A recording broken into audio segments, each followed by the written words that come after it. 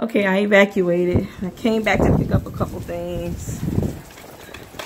Just to show you guys what it's looking like out here. So the water is coming up a bit and it's more choppy. The winds aren't blowing really hard, but they're blowing. It looks so different here as opposed to um, inland. this is what Fleming Island Marina is looking like right now. Uh, yeah, the winds are picking up though. You can see that tree. Woo!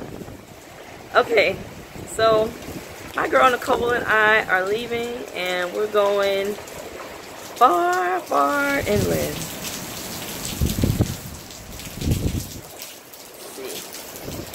If I can zoom in.